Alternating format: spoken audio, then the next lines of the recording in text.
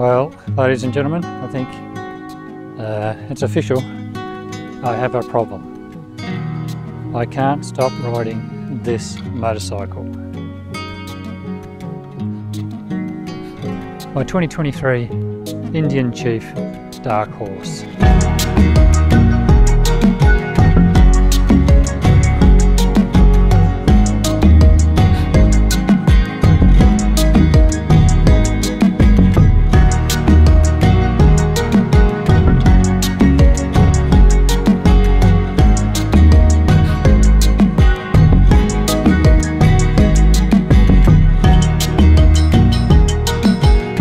When you get one of those bikes where you just can't stop riding it? Um, this is one of those bikes. I went for a ride yesterday to do a fuel economy test run and when I got back I was I was a bit sore and a bit banged up and I thought oh and maybe I should start look at getting some um, more comfortable modifications for the bike and I did a few hundred kilometers. And when I thought about it, I thought, well, you know, uh, wasn't a lot of distance, a few hundred kilometers, but uh, time spent on the bike was around about five and a half hours. So it wasn't sort of at, at high speeds. So it was a lot of lower speed sort of riding around.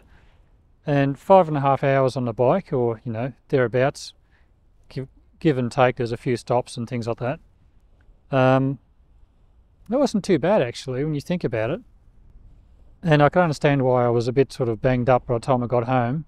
So I did learn over that trip that this is not a touring bike. Um, it was never intended to be a touring bike, but it's not a touring bike. I did find the limits of the suspension a few times in some of the roads were just really bumpy and uh, weren't pleasant to ride on. If, and if you had a a hardtail chopper, you definitely want to stay away from these roads. But I did find a limit of the uh, three inch travel rear suspension. I think I bottomed out probably four or five times.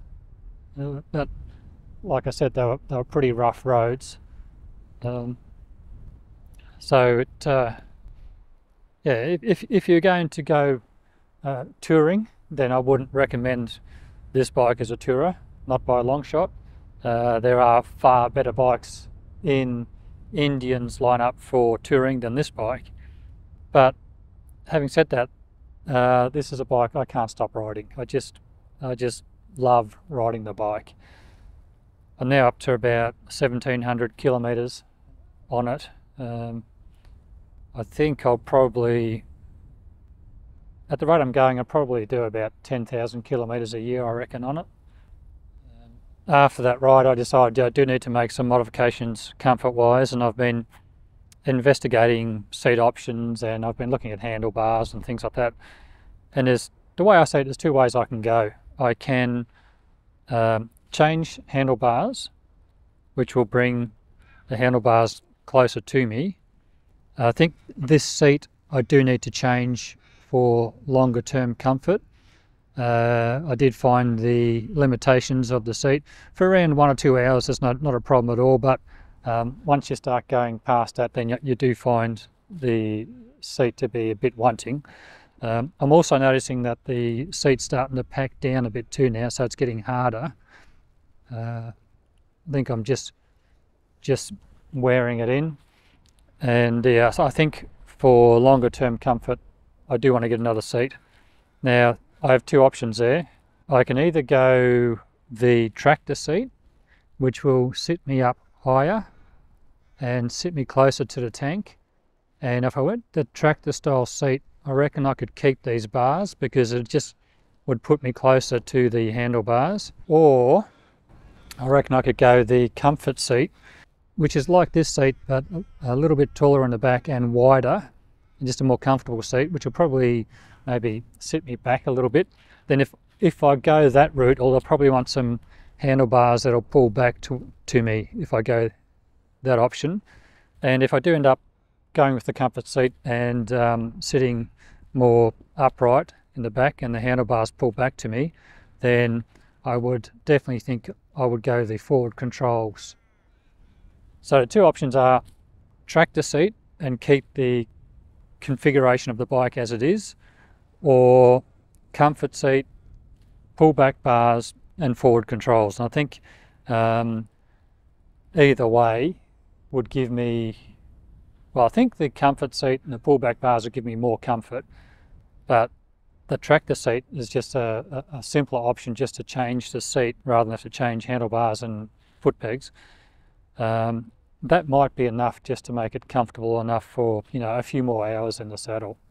So anyway, I just thought I'd uh, chat about how I felt after a, a, five and a half day ride yesterday in the saddle. Uh, so I've got that video coming up, the uh, fuel economy test ride, uh, which is quite interesting results. So uh, I've got that shot now. I've just got to edit it and get it out.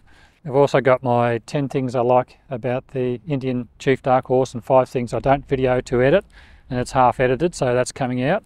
So yeah make sure you subscribe because there's plenty more Indian Chief Dark Horse content coming your way. If you've made it this far thank you so much for watching. As always thank you for your continued support. Don't forget to check out my Patreon. There's uh, some goodies there that you might want to check out as well as my t-shirts and hoodies and things like that. Check those out as well. And until next time, bye for now. Oh, and here's a couple of videos you might be interested in watching as well. See ya.